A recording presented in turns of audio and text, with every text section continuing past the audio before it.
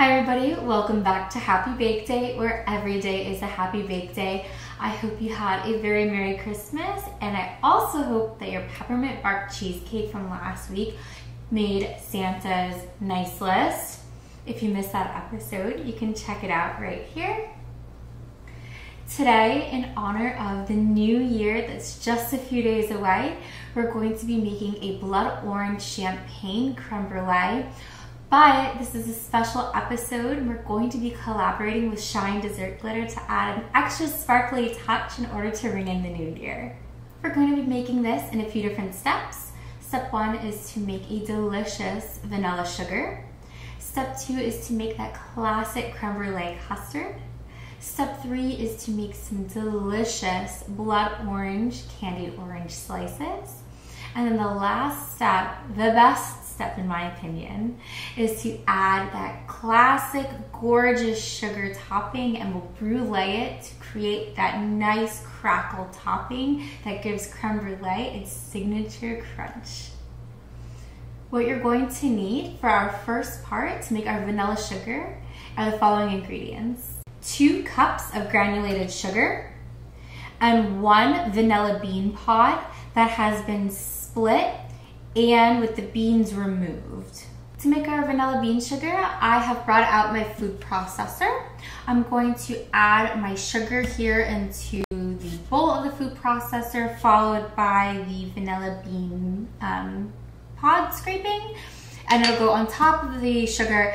You're gonna pulse it about maybe 10 or so, 15 or so times until everything has been fully incorporated, the beans have fully broken down and been added to the sugar. Then what you can do is set your sugar aside. We won't be using all of it for our recipe. You'll be using about half a cup for the actual creme brulee custard part. What you can actually do is put it in a very tightly sealed airtight container and your vanilla sugar should actually outlast you for a long time as long as it stays in that airtight container and you don't have it in direct sunlight or it doesn't have any moisture inside. And you can use it for other recipes or maybe even in your coffee in the morning. So we'll make our sugar.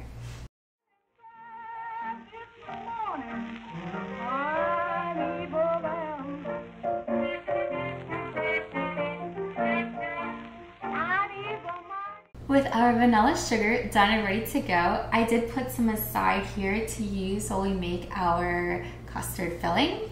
The rest I put in an airtight container. I did add the vanilla bean pod to the vanilla sugar. Over time, the pod will actually enhance the vanilla flavor of the vanilla sugar, so it will be delicious for later use. Now for our custard, you're going to need the following ingredients one quart of heavy cream, another vanilla bean split and scraped, half a cup of that delicious vanilla sugar we just made, six large egg yolks, half a cup of blood orange segments, two tablespoons of champagne, one tablespoon of blood orange zest, and half a teaspoon of plain old granulated sugar. Our first step is to marinate our blood orange segments so I have mine here in a medium sized bowl. I'm also going to add my champagne and my little bit of granulated sugar into the bowl with my segments. I have a spoon here to mix it all together. Then we're just going to set it aside and let it marinate while we make the rest of the custard.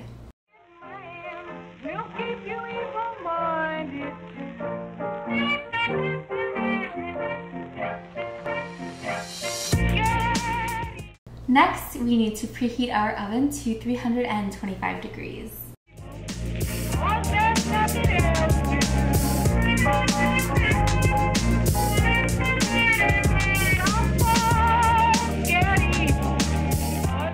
Our next step is actually going to be over on the stove.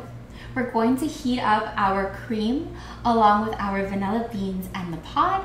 You're going to put it over medium to medium high heat and bring it to a full boil. And once it's boiled, turn off the heat and take your pot off the stove. You're going to let it sit and cool down for 15 minutes.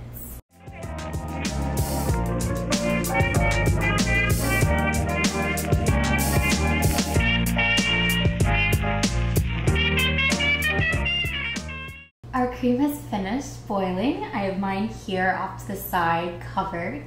I did take the actual vanilla bean pod out and you can either save yours or throw it away, whatever you want to do with it, but you do want to remove it from your pot. You can also see in the back, I have a pot of water that's boiling. I'm going to be using it to create a water bath for my ramekins before we put it into the oven. Our next step, you're going to need a medium or large bowl and a whisk. We're going to whisk together our egg yolks and the vanilla sugar until it's light and fluffy in color. Then you're gonna slowly, slowly add in the hot cream mixture. But again, you're not gonna start adding that in until about 15 minutes have passed and the cream has started to cool down a bit.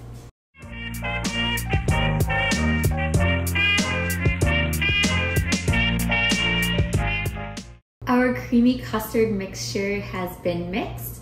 The next step is to add some of our blood orange champagne juice here into the custard. I do have a one tablespoon measuring spoon and I'm going to measure out two tablespoons of the champagne juice and add it into my custard. We'll mix that really, really well and then it'll be ready to pour into our ramekins. So in order to get a stronger champagne flavor in my creme brulee, I ended up doing three tablespoons of the blood orange champagne juice. Feel free to do two if you don't want the flavor to be as strong, or you can be adventurous like me and try three. I have here four little ramekins. The recipe is actually enough to make six, but unfortunately I only have four but I put them here in a large roasting pan with deep sides.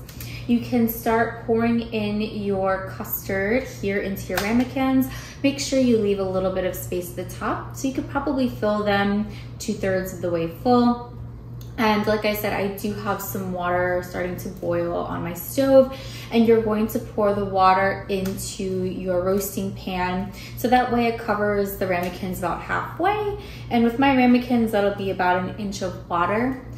You remember our episode last week when we made our peppermint bark cheesecake, I'm going to put my baking, um, my roasting pan in my oven first before I pour my water. That way I'm not having to carry a heavy roasting pan full of boiling water into my oven. I also have here a large measuring cup that has a spout. I recommend you also pulling out either a spouted bowl or a measuring cup if you have one. I'm going to just transfer my creme brulee from my large mixing bowl into the spouted cup. It'll be a lot easier to then pour it into my ramekins without um, any drips or at least with minimal mess and minimal drips. And it will just be a lot easier for cleanup.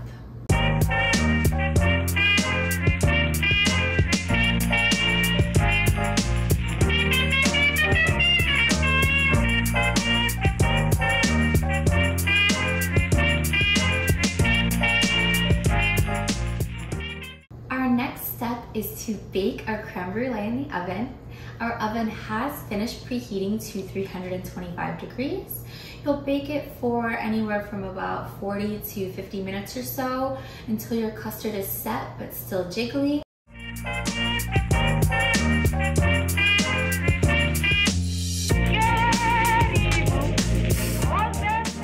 So my creme brulee is out of the oven and I have put it in my refrigerator to chill overnight. You do need to have it chilled at least four hours so that way it has been completely cooled down. I do recommend doing it overnight though, that way it'll be perfectly firm and set for when you wanna serve it. Tomorrow we will do our candied blood orange slices, add our sugar top, and it will be ready to eat. Until then, have a good night and we will see you tomorrow. Hi everybody, welcome back to our second part of making our blood orange and champagne creme brulee. Today we are going to be making our candied blood oranges to top our beautiful creme brulees. I hope yours baked well last night if you baked them overnight like I did. And I hope that they had set without any issues. I did take a peek at mine this morning and they look perfect. There's no more jiggle or wiggle. I think it's going to be great. So like I said, our next step is to candy some blood orange slices and they're going to be used as a garnish for our beautiful creme brulee. You're going to need a few ingredients in order to make our candied orange slices. Four blood oranges, thinly sliced with the seeds removed. You'll want to have them 1 8th of an inch thick, and I do recommend using a mandolin if you have one. You'll need eight cups of water in total, but you'll need it divided into two um, pots of four cups. You'll need four cups of granulated sugar, plus a little bit more for coating at the end. You'll need an ice water bath, and optionally, you need some edible glitter. Today I'm going to be using Shine Dessert Glitter, edible glitter in the color of champagne in honor of our blood orange champagne creme brulee. And I'm super excited about this collaboration in order to kick off the new year. As you can see behind me, I do have my pot on the stove. It is filled with four cups of water. I'm going to start boiling the water. Once the water is boiling, we will add in all of our orange slices here, and you're gonna boil them for two minutes. Don't worry about mixing them around. You don't want the oranges to accidentally break down. So once your two minutes are up, take your orange slices off the heat and immediately put them into your ice water bath in order to stop the cooking process. Now it makes sense to put them into a boiling pot of water just for a little bit. It helps take the bitterness out of the rind so that way when we coat them in sugar and we'll bake them a little bit at the end, they'll get nice and chewy but also sweet and not kind of that tartness that the rind will typically have.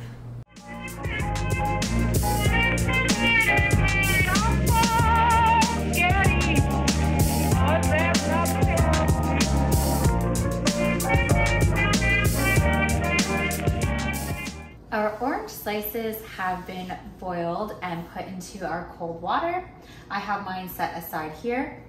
I also dumped out the hot orange water from when we boiled the slices, so that's uh, been disposed. The next step is to refill our same pot with four more cups of water. We're going to add in all four cups of sugar to the water and we're going to boil. And you're gonna slowly stir the sugar in until it fully dissolves and it'll form a simple syrup. Once that simple syrup has formed in your pot, what you'll do is drain your orange slices out of the cold water and add them into the simple syrup. Once you do that, you're actually gonna leave this on the stove for anywhere from 45 minutes to an hour, and you're going to need to stir it every 15 minutes or so. Be careful when you stir this. You don't wanna get too rough or too excited because then your orange slices will break down. I have a wooden spoon with some slots on it. Um, I do recommend a wooden spoon if you have one just because they tend to be heat proof, uh, especially when you're working with that simple syrup. It can get really hot and sticky. So I will be using my wooden spoon. After that, we will put our orange slices on a rack and we will put them in the oven to dry out.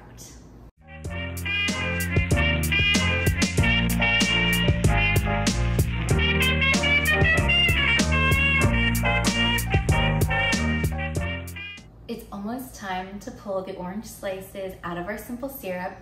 The rinds are almost translucent, so I'm excited that it's almost done. You can hopefully see in the back, I do have two baking trays pulled out. I have covered the bottom of the baking tray with some aluminum foil and then put wire racks on top of that. Once my orange slices are done, I'm going to take them out of the simple syrup and lay the slices on top of the wire racks. The trays will go into the oven. We will preheat our oven to 175 degrees. At the 30 minute mark, you will generously coat your orange slices in some granulated sugar on both sides and then you'll put it back into the oven for about another hour uh, to about 90 minutes until the slices have dried out completely but are still kind of soft and rubbery and chewy. At that point, take your trays out of the oven and let the slices finish cooling completely and then we'll finish assembling our creme brulee.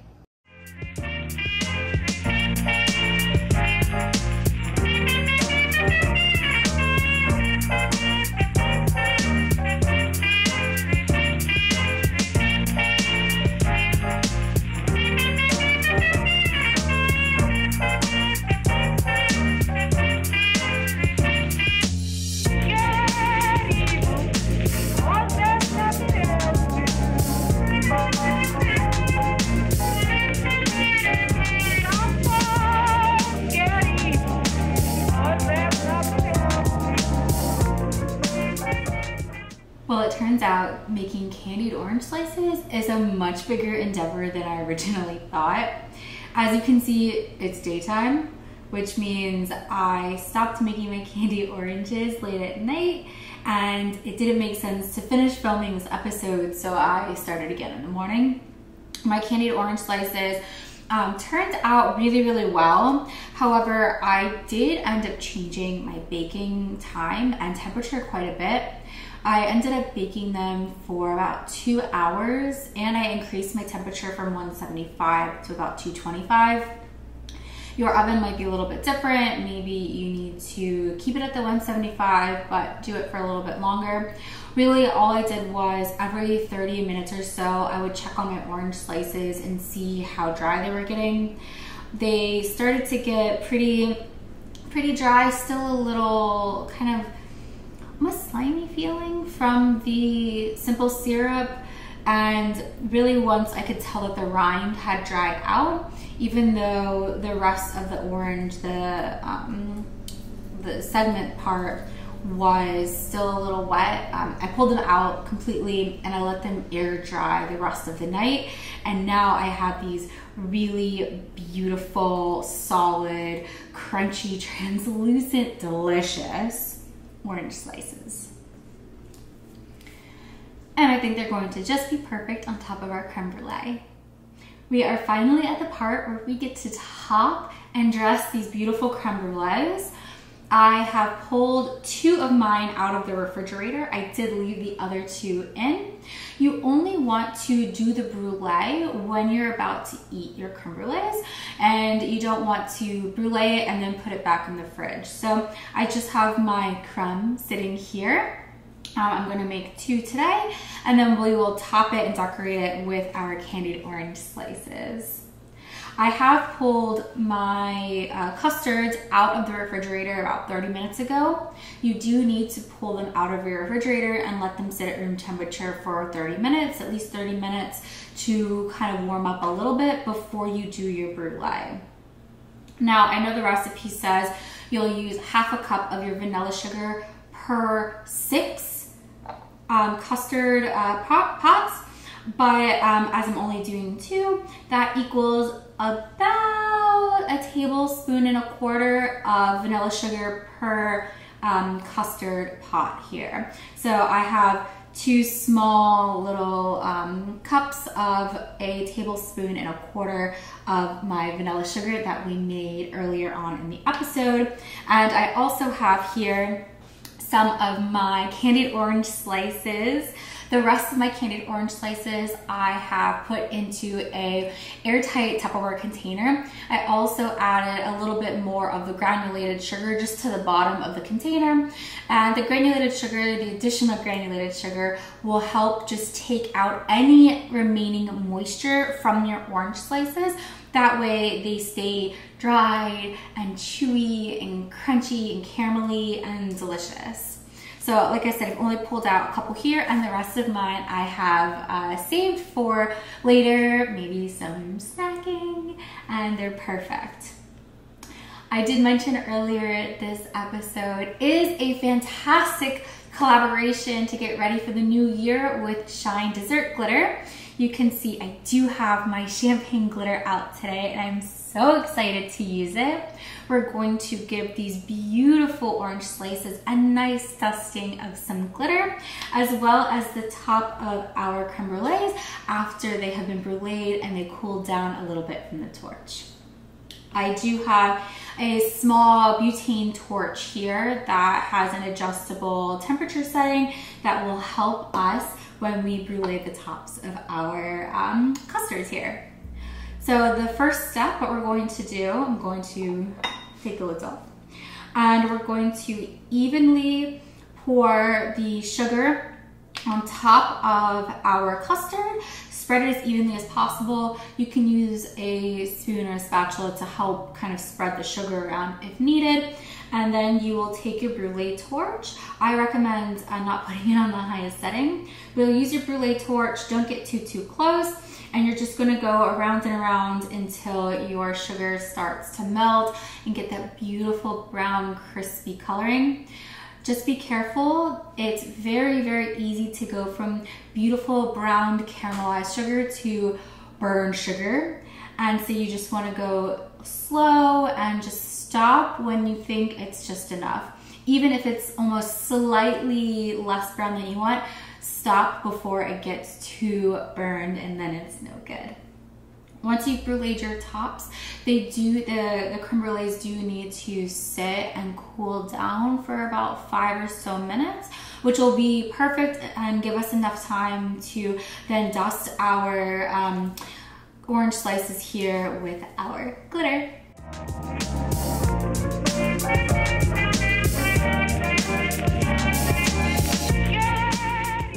The custard has been beautifully bruleed. I'm very, very happy with how it turned out. I'm going to let it sit here for a few minutes, like I mentioned earlier, just to let the sugar completely cool down and harden and create that classic crunchy caramelized top that everybody knows and loves with creme brulee, hence the brulee. So what we'll do now is dust our lovely little orange slices and some of this glitter I think it's going to be super fun and super sassy for New Year's, especially with this really fun kind of champagne colored glitter. I mean, how perfect for our blood orange champagne creme brulees.